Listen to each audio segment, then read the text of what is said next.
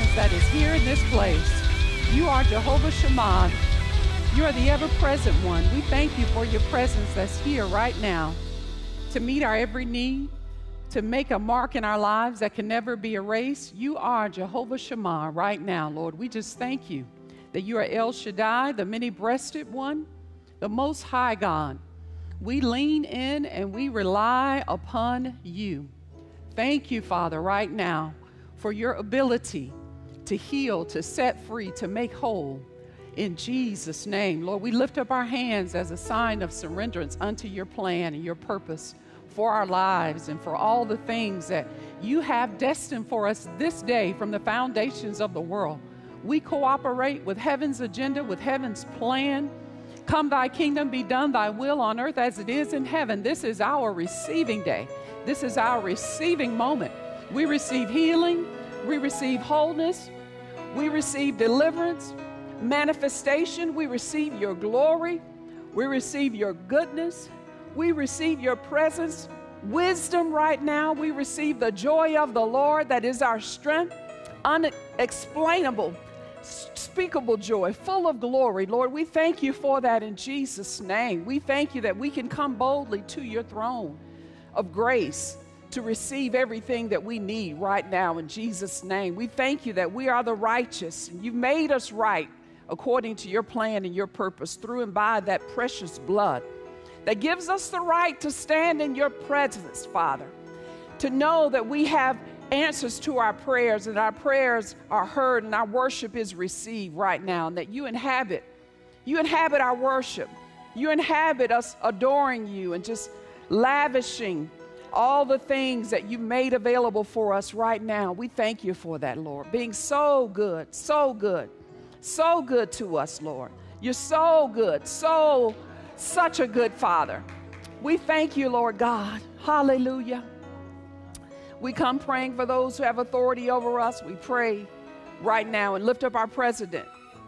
We lift him up to you, President Biden, Vice President Harris, governors of every state, mayors of every city, judges, congressmen, congresswomen, representatives, Father. We just declare that only the upright dwell in our government that we may lead a quiet and peaceable life in all godliness. You said that this is good and this is acceptable unto you. So we thank you for godly men and godly women right now, that you have the heart of our president in your hand to fulfill your will according to your plan for these United States, Lord. We declare that you'll pull down the treacherous and the wicked, and the upright you'll lift up, Father. We thank you that your hand is upon our leaders this day. And so we thank you, Father, right now in Jesus' mighty name. We lift up Creflo, the man of this house, and our spiritual father. We thank you for no weapons formed against him will prosper. We thank you for this vision to bring forth understanding. In all of our getting, we get understanding right now that wisdom is a principal thing. And so we thank you for the assignment we thank you for the grace, the anointing on every person, every leader, every director, every volunteer, every family, every member, every partner, every person connected to this vision and to this ministry, Father. We thank you for it. And we're so privileged to be able to serve and to carry out your vision in these United States and in this earth and then your, be a part of your kingdom. And it's in Jesus' mighty name, the name that is above all names the name upon which every knee shall bow and every tongue will confess. We thank you for that name, that name that is higher than any name. We thank you for that name that brings everything under subjection this day. In Jesus' mighty name we pray. And all that agree said, Amen, amen, amen, amen. Hallelujah. To God be the glory and to God be praised. Well, you may be seated in the presence of the Lord. Those of you who are here in person, we just want to thank you for coming out today and believe that you will be blessed and you will be encouraged by tuning in and carving out time for God's presence. And so we are excited. I'm excited about the um, teaching this morning. I believe that it will be a blessing to your life, things that. Uh, we must begin to walk in victory particularly in 2021. We know that there are so many things that are going on, but you know what? We have to prioritize God's purpose for our lives and to live in victory and not to live in defeat. And so, this subject that I want to talk about this morning is a topic that, in many instances, the enemy has been able to kind of hide out in and cause strife, division, all kind of works of the flesh, uh, because he dwells in darkness. And so, when we understand the strategies, the schemes, the plans of the enemy, then we can shine light on it, and we can. Um, live free from his uh, trap and his snare. And so I want to talk and continue on about making room. We started talking about this uh, a few weeks ago. But today we want to talk about making room by letting go. Making room by letting go. You know, sometimes we hold on to so many things. Uh, we can begin to even create memorials in our lives and landmarks of what happened and things that occurred. Um, it's wonderful to celebrate over things that are good and breakthroughs and manifestations, miraculous, divine interventions, but then there's something very dangerous when we hold on to the bad and we don't let go and we don't begin to understand what it is that God has delivered us from. And so we want to focus in on this area of deliverance, this area of freedom, this ability that we have by God. You know, um, when we look at this so great salvation, we understand that it's not just being born again, um, it's not just escaping hell or um, having the fact that, you know, we have heaven in our view, but it's also the fact that we understand that we have forgiveness and that God wants us to live as the Bible talks about pardon and free from uh, the past and free from holding on to things. And so we want to um, kind of begin today and look at this area. And uh, just as a foundation, the word salvation is defined as deliverance from slavery, it's a state of wholeness, spirit, soul, and body, preservation of life, physical health, natural temporal deliverance from danger and apprehension, restoration and healing. And it also, what we want to focus on today is pardon uh, the forgiveness of our sins, the forgiveness of our sins. Let's begin in Psalms 103. And we want to look at this area of forgiveness. And we will go as far as we can this morning. I just believe that I'm going to take my time so I can really allow the Spirit of God to speak and do what He wants to do because uh, we have to be intentional about this area of our life. Like I said, the enemy wants to hide out, and if we don't realize that there are areas in our life that we must evict people from living in our heads, then as a result, that intention, that plan will cease to operate in our life. So when we talk about intention, we're talking about a commitment to carry out an action. And that's what we want to look at today is this being intentional about walking in freedom and letting go and making room for God wants for what God wants to do. Because we have a tendency to hold on to things. Uh, our emotional condition can play a role in our life, but I believe today that God wants us to eliminate, to eliminate the things that are unnecessary. And so letting go is a part of eliminating things that are not necessary in our life. And so in Psalms 103, um, verse 1, let's look at this. Familiar scripture. He says, uh, Bless the Lord, O my soul, and all that is within me. Bless his holy name. Bless the Lord, O my soul, and forget not all his benefits.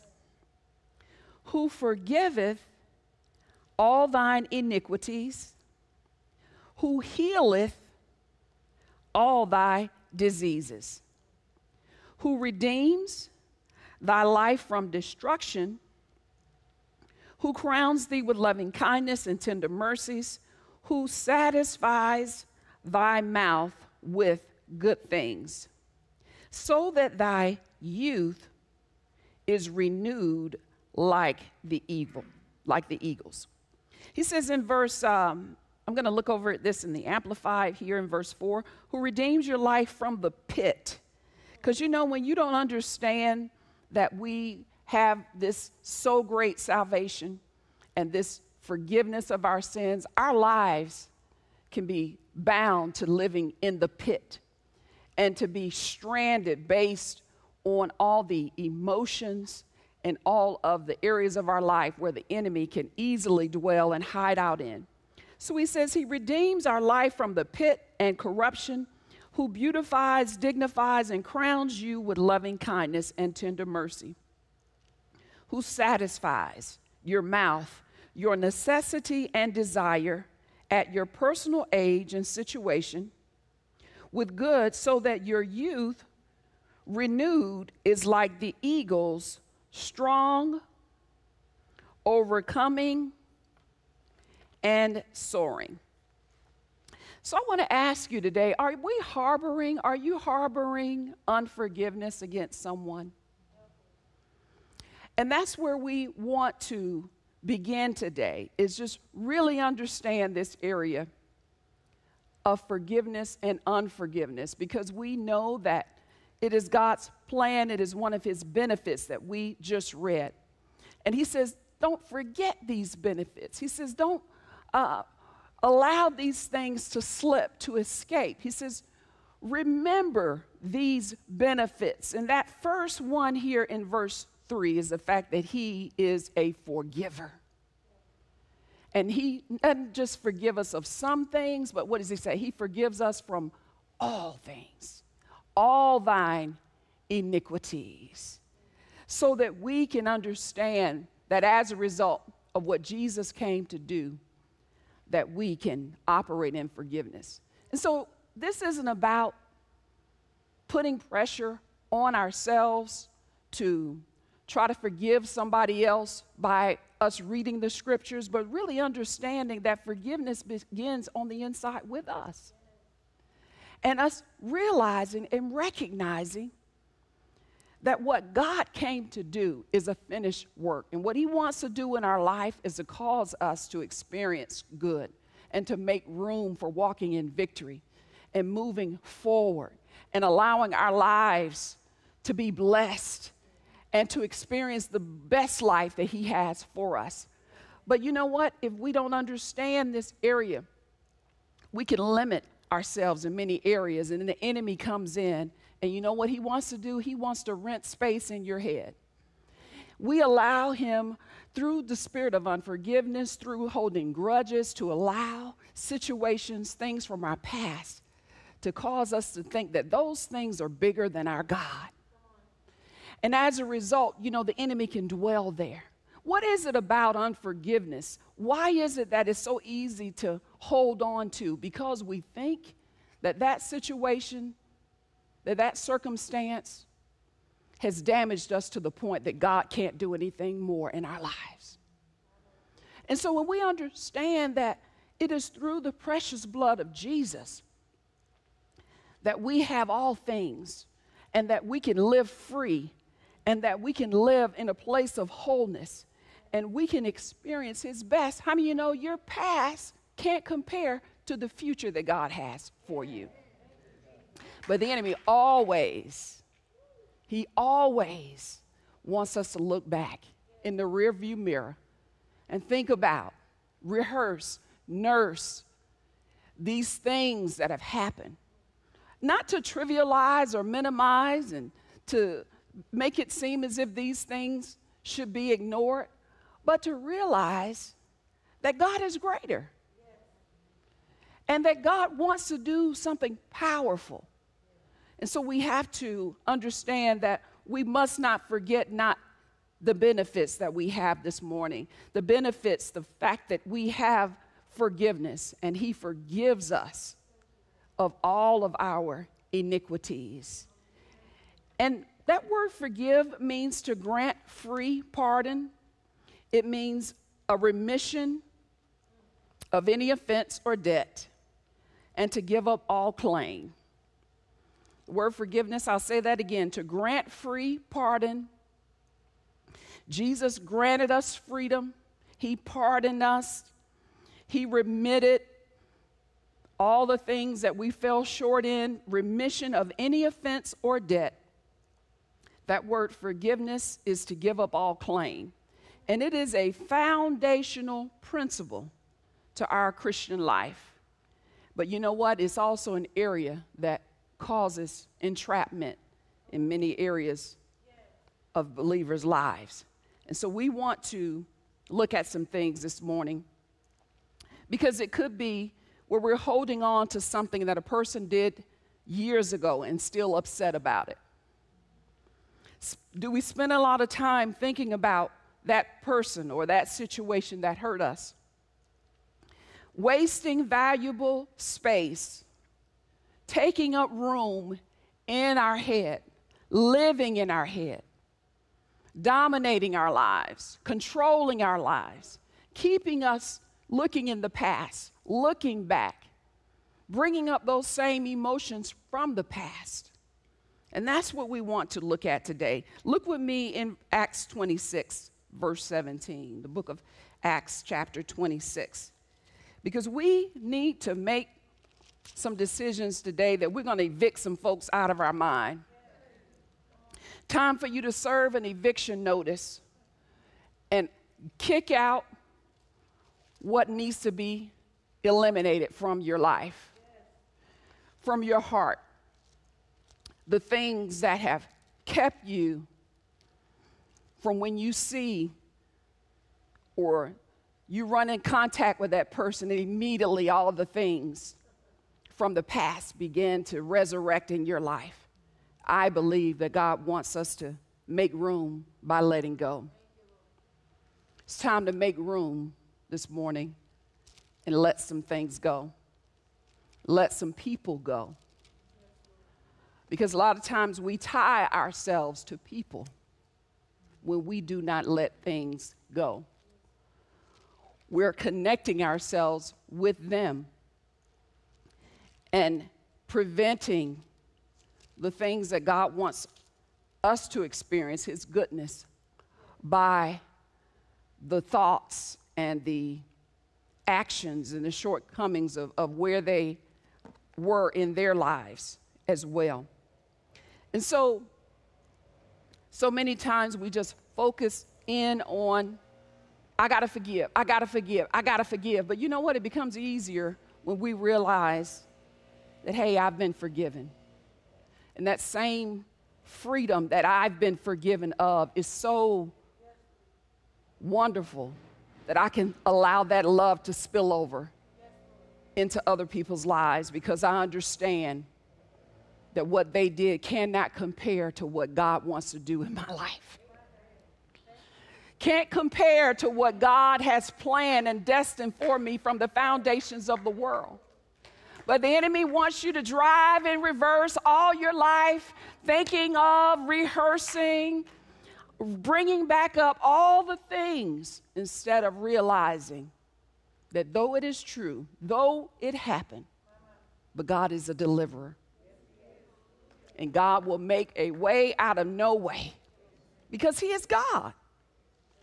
Look at what He says here in Acts chapter 26, verse 16. It says, um, This was the Apostle Paul while he was persecuting uh, people during that time, uh, harassing, troubling. So he says, um, And I said in verse 15, Who art thou, Lord? And he said, I am Jesus, whom thou persecutest.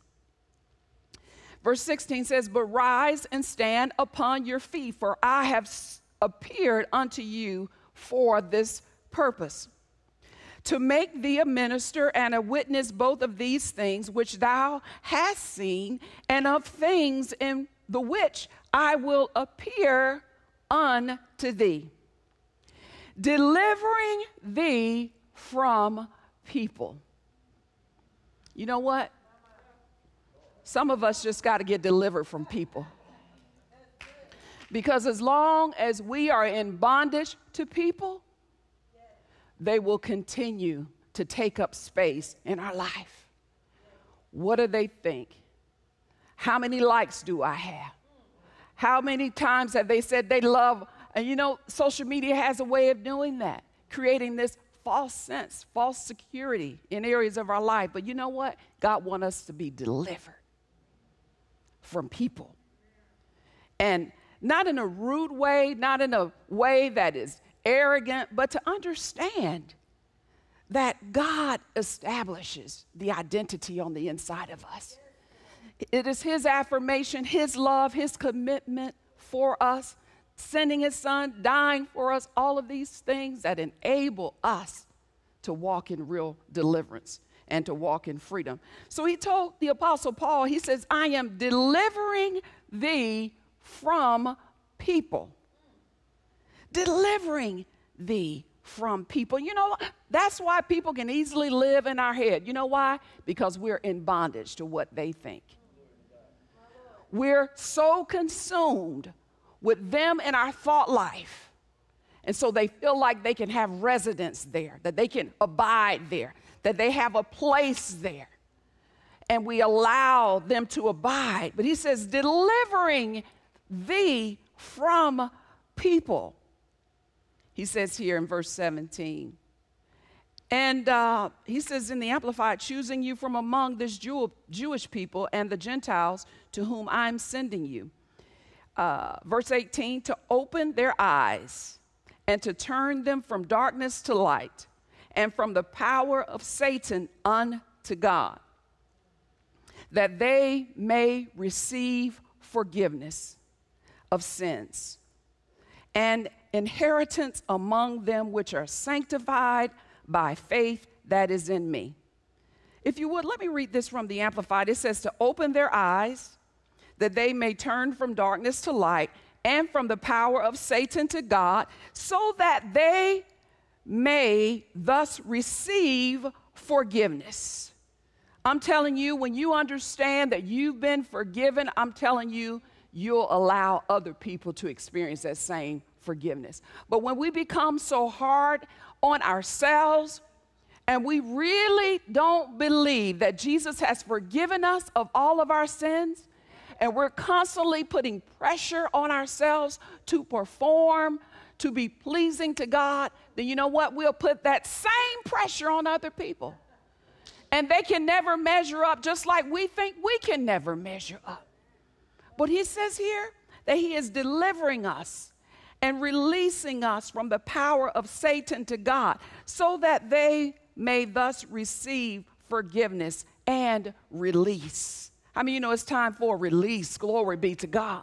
Time to release things in your life, release people in your life, release what was done to you, release the abuse, release the trauma, release the tragedy, release your past, release what they said, release what they did. So he says it is a release from their sins and a place and portion among those who are consecrated and purified by faith in me.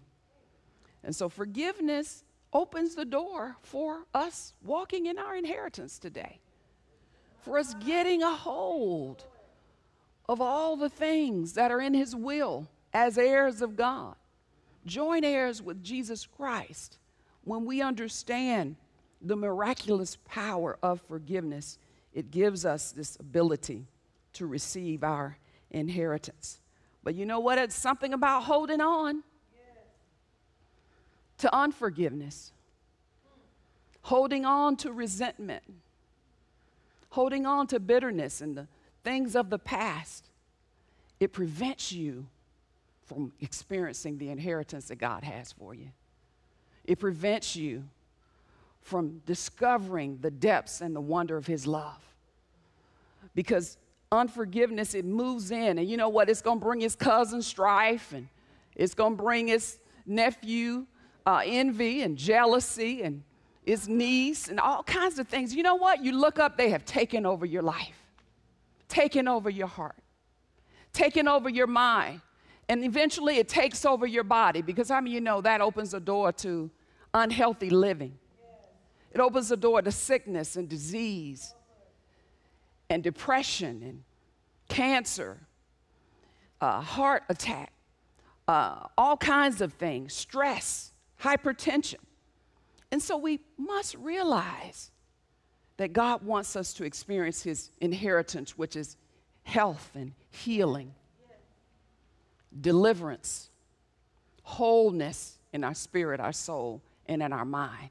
Where we can think clearly, we can think soberly, and we can walk in love and we can begin to be the church that God wants us to be because we have a revelation of His love for us. We know that we have been forgiven. Glory be to God. We receive His forgiveness for everything. And then as a result, we know it's because of His love, His great love towards us. And He loved us so much that he sent his son to forgive us and to cause us to be delivered and to have an inheritance.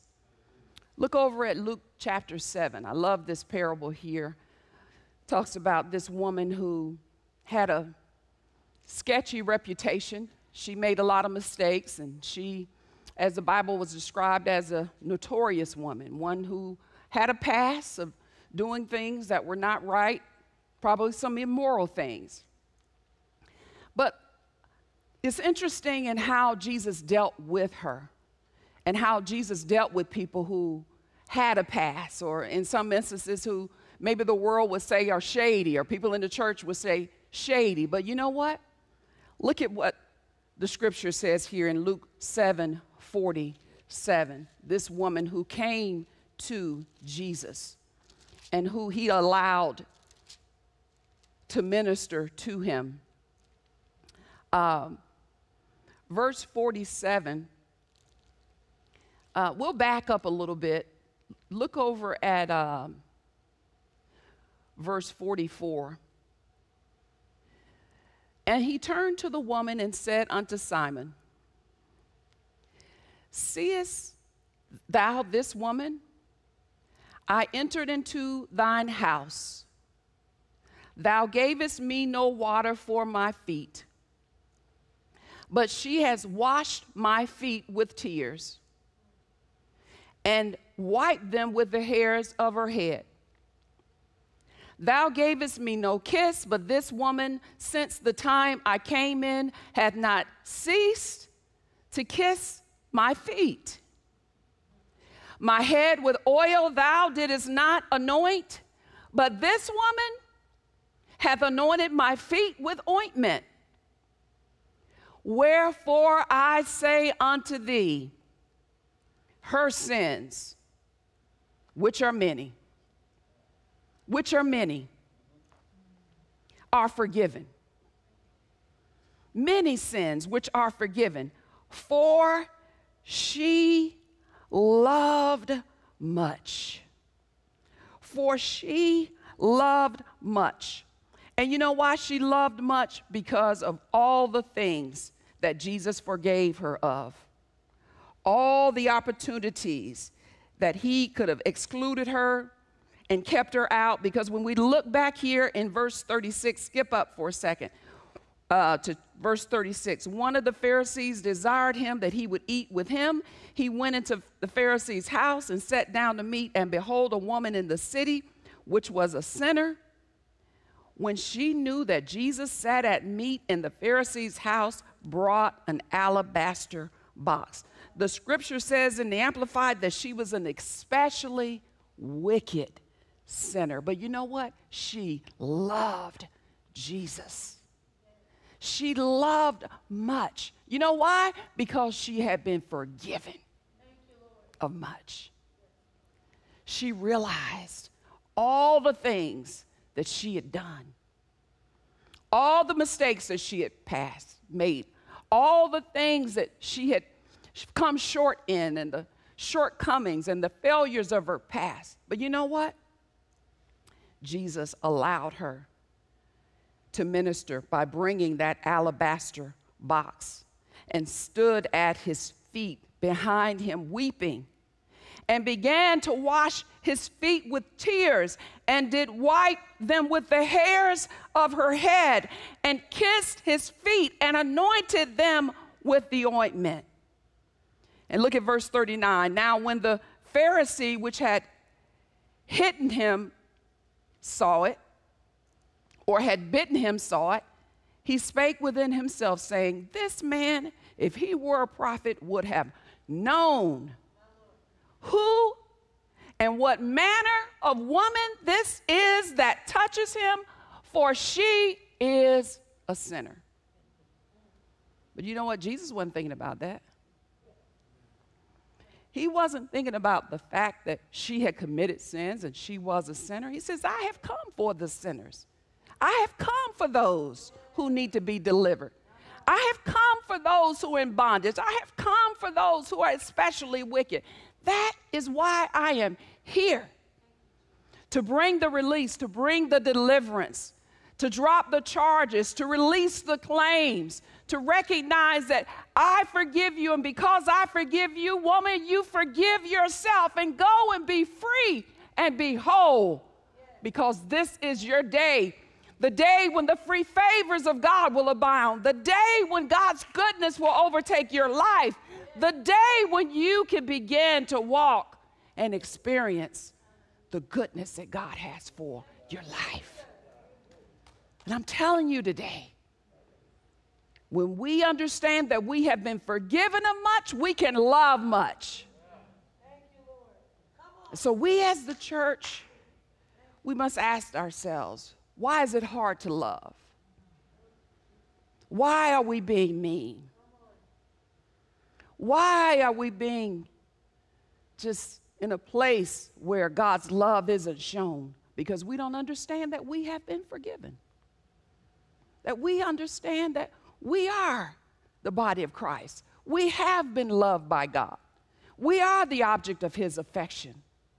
We are the focus of His delight. We are the redeemed, the peculiar, the chosen, the loved, the cherished, the nourished. We are who God says we are.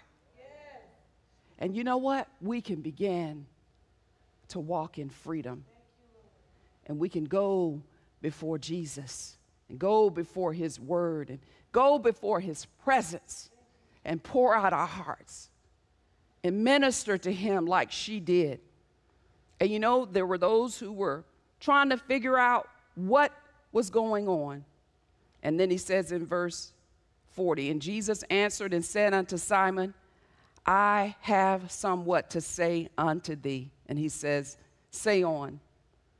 There was a creditor which had two debtors, the one owed 500, the other 50. When they had nothing to pay, he frankly forgave them both. Jesus asked, Tell me therefore, which of them will love him the most?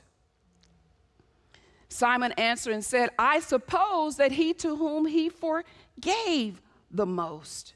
And he says unto him, Thou hast rightly judged. I don't know about you. I don't stand here today as if I have been perfect or I haven't experienced shortcomings in my past, made mistakes. But you know what? I focus on the fact that I have been forgiven and I have been given the opportunity to have an intimate, personal relationship with Jesus Christ. But you know what? If we don't have a revelation of His love and we don't understand what He's done on the inside of us, then it's easy to hold on and to keep that same tenet in our head keeping that same stronghold in our minds, maintaining the harbored resentment and the unforgiveness and the grudge. But there's something about meditating on the love of God, meditating on what He has done for us. Even when you think about Joseph, Joseph was one who went through a lot. I won't turn there for the sake of time, but his brothers were envious of him, his brothers were jealous of him. But you know what?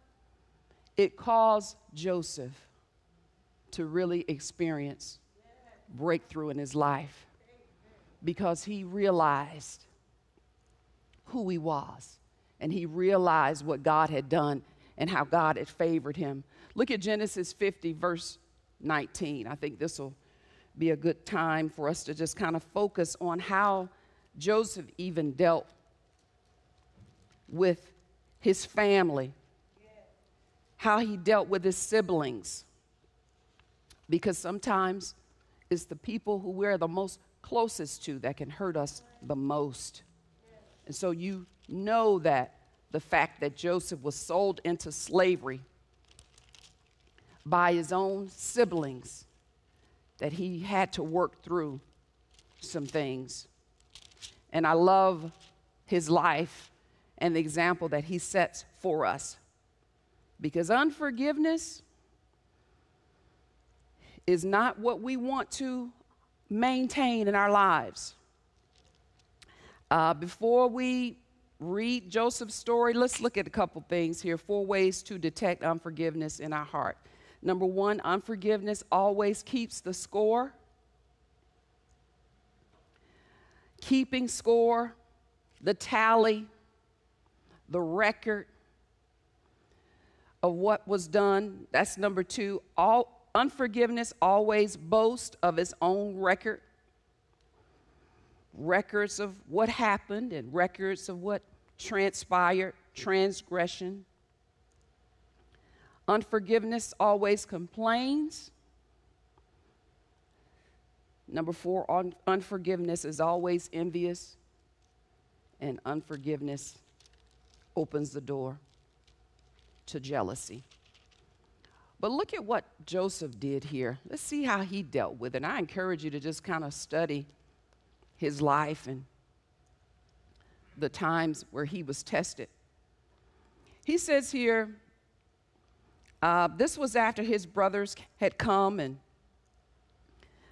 uh, verse 15, and when Joseph's brethren saw that their father was dead, and they said, Joseph will peradventure hate us and will certainly require us all the evil which we did unto him. They sent a messenger unto Joseph, saying, Thy father did command before he died, saying, So shall you say unto Joseph, Forgive I pray thee now, the trespass of thy brethren and their sin, for they did unto thee evil. And now we pray thee, forgive the trespass of the servants of the God of thy father. And Joseph wept when they spake unto him. I'm sure he was hurt. I'm sure he had a lot of emotional things that were going on when it says that Joseph wept. The half is not told the degree of the things that this man had gone through to the point that it brought him to tears and him saying what was transpiring at that moment. And his brethren also went and fell down before his face, and they said, Behold, we be thy servants. And look at what Joseph says unto them Fear not, for am I in the place of God? He says in the Amplified, vengeance is his, not mine. He says, I'm not in the place of God to determine and dictate what's going to happen to you. He says, Vengeance belongs to the Lord, not to me. Am I in the place of God? Do I detect your future? Do I determine what's going to happen with you? Am I standing in the place of God? He didn't give room to unforgiveness. He recognized that it was God who would have the final say so. He says, Am I standing in the place of God? But you know what? When we hold on to unforgiveness, we're standing in that place where we want to determine what happens. And God says, let it go. It's not worth it. Let go of the scorecard, put it down, stop, and begin to recognize that it is God who has a final decision. And God will do what needs to be done in the lives of others. It is our responsibility to receive the forgiveness and to re- recognize that the love that God has for us, it makes us give. It's not to for sale, for give. That we are to give as a result of what we have received. And because we understand that, we don't try to dictate and hold back and hold people for what they did to us. But we're not standing in that place of God. Because what God wants to do in my future is far better than what you could ever do to me in my past. My future is bright. My future is promising. My future is just a wonderful thing. So I choose not to dwell there not in the place of God, to say, because of what you did, I can never get to what God has for me. Absolutely not. I open my heart, I open my mind, I open myself up to God possibilities, to God happenings, God encounters, whatever He wants to do, however He wants to do it. But I refuse to live in the past. I refuse to allow unforgiveness to dwell and rent space in my head, resentment to live and dwell in my head. Absolutely not. I set my will to forgive. Sometimes you got to pre forgive. When you wake up in the morning, Lord, I just set my will. I don't know what the enemy has devised or tried to comfort me with, but you know what? I set my will to forgive set my will to forgive. And so we have to get in this place where we forgive ourselves. To forgive ourselves. This is so important. And I'm running out of time. I'm just going to uh, kind of bring this to a point where we can just pray and we can meditate on what has been shared because we're never going to develop greatness inside of us as long as we develop excuses and alibis of why we are confined to what somebody did to us. Never going to get to greatness. As long as we hold on, hang on, make room, we didn't carved out, the room is just furnished. I mean, from top to bottom. That's what they did, and this is their room, and I'm telling you, Come here to my room and sit with me and hear all the details of what happened. Instead of clearing out that room, let it go, move on. Get out of my life. Get out of here, unforgiveness. Get out of here, resentment. Get out of here, bitterness. Get out of here. And letting God move in that room and letting Him heal us, letting Him make us whole, letting us experience all the things that He wants to speak to us because we've eliminated and we've let go of the past. And we've made up in our mind that we are the loved of God and there is no fear in love. And as a result of God's love for us, we know who we are. And we believe His plan for us. Forgiveness frees us from the choices of other people, the choices that other people make. Who are we to hold something against someone that God doesn't even hold against them? There's no need to hold a grudge against someone who has hurt us because, in essence, what we are saying is what they did is more powerful than what God can do in my life. We are mad because we think this person has control over us. We think that they will hinder us, they will keep us back, they will prevent God's best in our life. We fail to think that God is greater than what they did. And you know what? I'm going to say this, and we got to close. Sometimes God lets people disappoint us. You know why? Because it forces us to look to Him.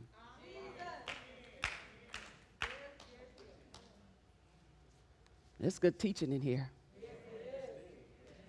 Because we are so concerned and in consumption with what they are and what they did and who we think they are and the source of who and have and what we are and makes us feel like this is what we need. But you know what? God says, I'm going to let you experience this. Because maybe that's the only way you'll take your eyes off them and you'll look to me. Because we're going to disappoint. We're human. I ate Creflo's lunch yesterday. I'm human. He's like, wait, wait, wait, why you eat my lunch? I'm like, I don't know. I just ate it. I just, it looked good. I. Humans, we're going to disappoint. We're going to disappoint each other. You know, we're going to do things that's going to disappoint ourselves. We're going to do things that will disappoint God. But you know what? He never does things that disappoint us. He is that committed to His word being manifested in our life.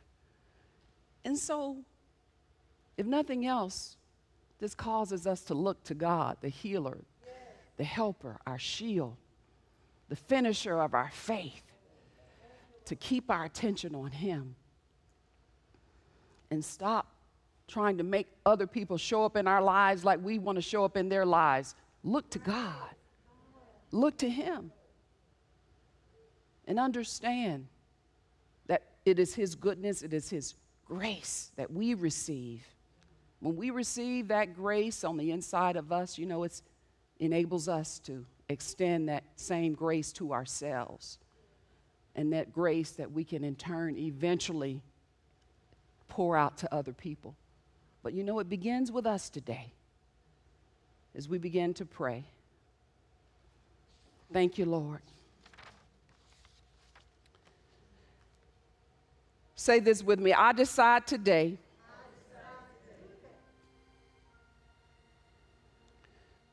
to forgive myself from falling short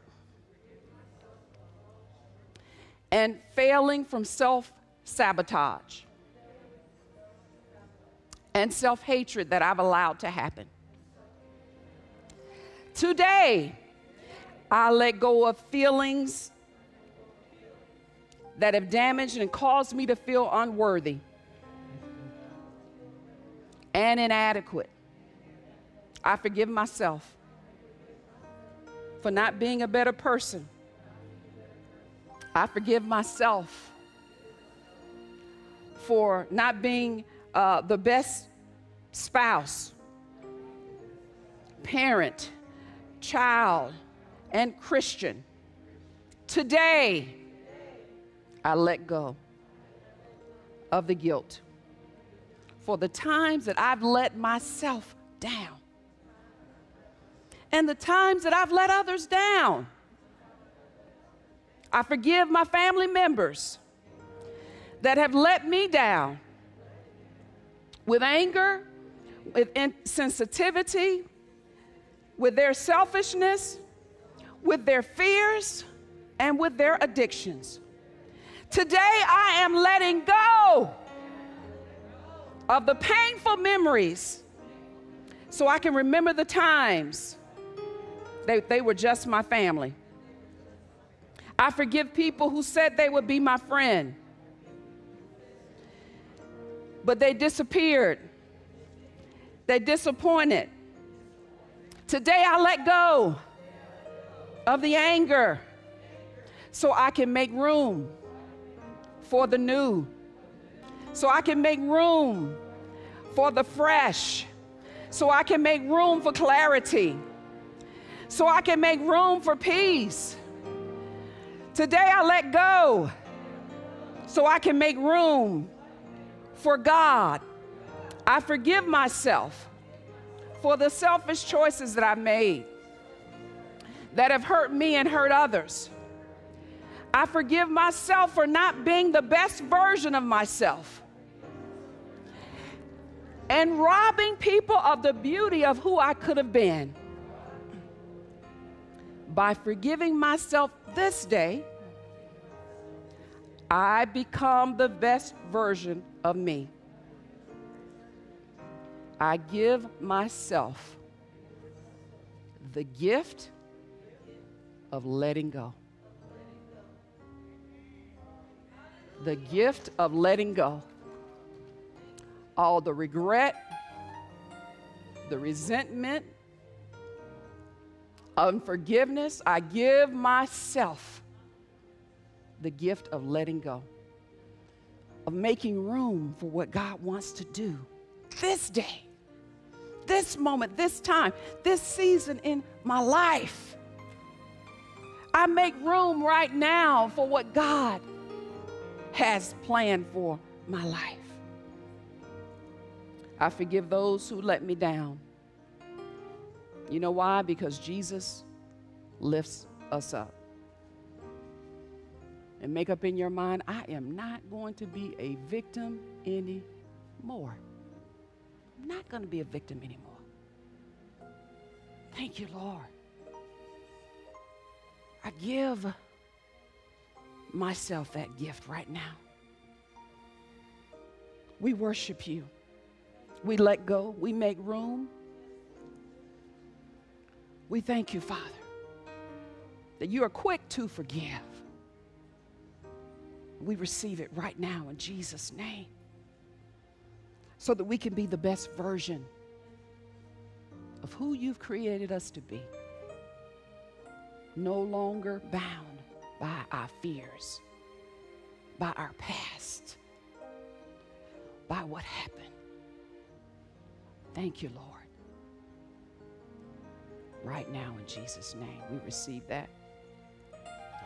If you've not received Jesus as your Lord and as your personal Savior, it begins by accepting Him into your life making room for Him to come in and be the Lord of your life, being your master, uh, taking authority over your life, surrendering your will to His will. It begins by a decision. I receive His forgiveness, I receive His deliverance. I receive what has been purchased for me from the foundations of the world my past, present, future sins. It's all under the blood of the Lamb that was slain thousands of years ago. So say this with me Heavenly Father, come into my heart, save me. And when you move in, I know I'll experience your best. Thank you for saving me right now. In Jesus' name. Amen. If you prayed that prayer, I want you to text the keyword I'm saved, one word to 51555. There are some things that we want to bless you with, some things that we want to sow into your life so that you can get on this path of living a successful, victorious Christian life. And it begins by having the foundation of God's love on the inside of you and knowing who you are in Him. Let's go ahead and receive our offering this morning. Let's complete our worship. And um, we give today out of our love to God. We give out of our surplus. We give out of our adoration because we know that we can't beat God's giving. He is such a giver that He sent His Son uh, so that we could have everlasting life and that we can experience the Zoe life, that we could live with our needs met, and that we could be blessed and be a blessing to those, preventing misfortune in the lives of others. So understand that as you give to this ministry, you are giving and preventing misfortune in the lives of people. We are so thankful that even earlier this morning, we were having the opportunity to bless people with food. You know, as a result of this pandemic, food security became so important, so paramount in the lives of people. Just having food to eat and to prevent starvation and hunger. So we thank you so much for just giving out of your overflow and giving towards the kingdom of God so that we can be a blessing and bring others into relationship. Sometimes it's just through food that you can create a relationship with someone by meeting their needs, giving them a bag of groceries. And then you can sow the word of God because they realize that you've been able to meet their physical need.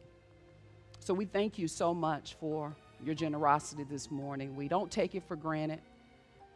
And we are so uh, in expectation for God's harvest to return back to your life. So you have four ways you can give. You can text World Changers plus the amount to 74483. You can call 1 477 7683. You can mail it in, 2500 Burdett Road, College Park, Georgia, 30349, or you can go to either website, worldchangers.org or creflo dollar ministries.org. But these are different ways that you can give, and I think you can even give with PayPal. But by all means, let's begin to live under an open heaven where His blessings are poured out. We don't have enough room to receive. As we give, He returns it back to us. As we give, He gives back to us. As we give, He gives back to us. And there's this ongoing cycle of provision. I believe it can happen for you today. And so, thank you for tuning in. I trust that you were blessed. And my prayer is that you will enjoy the rest of your day. God bless you. Bye bye. Know